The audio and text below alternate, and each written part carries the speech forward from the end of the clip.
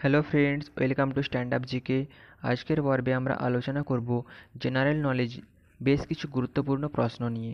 তো পর্বটি শেষ পর্যন্ত দেখো, খুবই একটি গুরুত্বপূর্ণ পর্ব। ভালো লাগলে অবশ্যই লাইক করো এবং বন্ধুদের সাথে আরও বেশি বেশি পরিমাণে শেয়ার করো। এবং পাশে থাকা সাবস্ক্রাইব বাটনে প্রেস করে অল নোটিফিকেশান অন করে দিও, যাতে পরবর্তী ভিডিওগুলো তোমাদের কাছে খুবই সহজে চলে যেতে পারে। আজকের প্রথম প্রশ্ন গরুর পাকস্থলী কয়টি প্রকোষ্ঠ বিশিষ্ট? একটি, দুটি, তিনটি, চারটি। সঠিক উত্তর হয়ে যাবে চারটি প্রকোষ্ঠ বিশিষ্ট। Option D. পিত্ত লবণটি হল sodium chloride, sodium taurocholate sodium carbonate, কোনোটি নয়। সঠিক উত্তর হয়ে যাবে সোডিয়াম টোরোকোলেট অপশান বি। আমাদের দেহে দুটি পিত্ত লবণ রয়েছে, সোডিয়াম টোরোকোলেট এবং সোডিয়াম গ্লাইকোলেট। যদি অপশান সোডিয়াম গ্লাইকোলেট থাকে, তখন সেটিও সঠিক উত্তর হবে। হু এর সদর দপ্তর কোথায় অবস্থিত? হুয়ের পুরো নাম তো আমরা সবাই জানি, ওয়ার্ল্ড হেলথ অর্গানাইজেশন। এর সদর দপ্তর কোথায় অবস্থিত? New York, Thailand, Geneva, Rome. সঠিক উত্তর হয়ে যাবে জেনেভা, অপশান সি। অল্টিমিটার যন্ত্রে মাপা হয় গতিবেগ, দূরত্ব, সময়, উচ্চতা। সঠিক উত্তর হয়ে যাবে উচ্চতা অপশান ডি হজবরল কার রচনা? বিদ্যাসাগর, সুকুমার রায়, সুকুমার সেন, সত্যজিৎ রায়। সঠিক উত্তর হয়ে যাবে সুকুমার রায় অপশান বি আলমগীর নাটকটির নাট্যকারকে গিরিশচন্দ্র, সুকুমার রায়, ক্ষীরোদপ্রসাদ, অমৃতলাল। সঠিক উত্তর হয়ে যাবে ক্ষীরোদপ্রসাদ। Option C. উচ্চ রক্তচাপ নিয়ন্ত্রণ করা যায় কুইনাইন, নিকোটিন, রেসারপিন, পেনিসিলিন। সঠিক উত্তর হয়ে যাবে রেসারপিন, অপশান সি। নিউক্লিয়ার রিয়েক্টরে যে জ্বালানি ব্যবহৃত হয়, গ্রাফাইট, ক্যাডমিয়াম, ইউরেনিয়াম, ভারী জল। সঠিক উত্তর হয়ে যাবে ভারী জল, অপশান ডি। এর সংকেতটা কি? না, এর সংকেত হলো ডি টু ও। ইয়াস ঝড়ের নামকরণ করেছিল মালদ্বীপ, ভারত, শ্রীলঙ্কা, ওমান।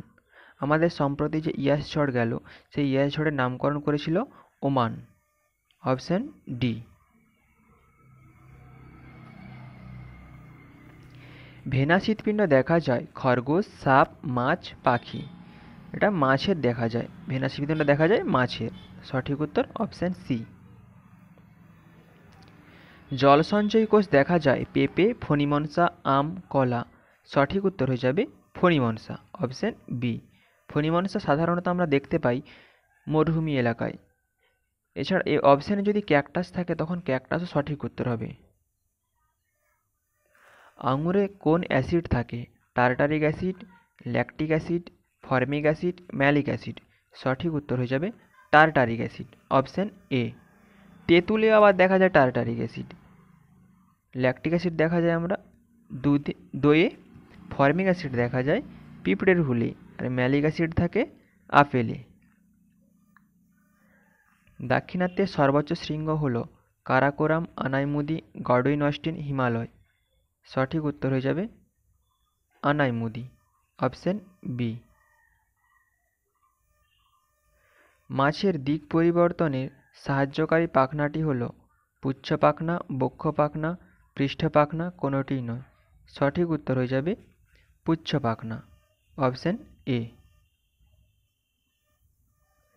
রাওলাটাইন পাস হয় উনিশশো উনিশ, আঠেরোশো উনিশ, উনিশশো পঁয়ত্রিশ, উনিশশো পাঁচ।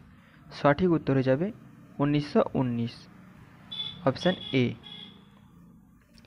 নিউট্রনের আবিষ্কারক হলেন রাদারফোর্ড, থমসন, চ্যাডউইক, নিউটন। সঠিক উত্তর হয়ে যাবে চ্যাডউইক। Option C. চ্যাডউইক উনিশশো বত্রিশ খ্রিস্টাব্দে নিউট্রন কণা আবিষ্কার করেছিলেন। এই কণার ভর কত? এই কণার ভর one point six seven five into ten to the power minus চব্বিশ গ্রাম নিউমোনিয়া রোগে আক্রান্ত হয় যকৃৎ, জিহা, চোখ, ফুসফুস। সঠিক উত্তর হয়ে যাবে ফুসফুস। Option D. গ্যাস বেলুনে ব্যবহৃত নিরাপদ গ্যাসটি হল হাইড্রোজেন, হিলিয়াম, কার্বন, অক্সিজেন। সঠিক উত্তর হয়ে যাবে হিলিয়াম। অপশান বি গ্যাস বেলুনে হাইড্রোজেন গ্যাসও ব্যবহার করা হয়, কিন্তু হাইড্রোজেনের থেকে হিলিয়াম বেশি নিরাপদ।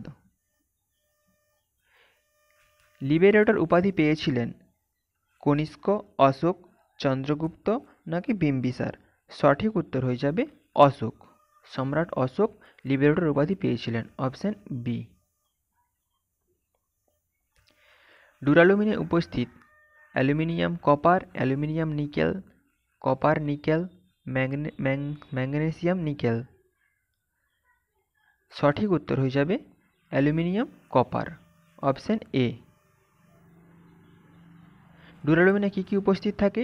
না ডুরালুমিনে উপস্থিত থাকে অ্যালুমিনিয়াম কপার, ম্যাগনেসিয়াম আর ম্যাঙ্গানিজ।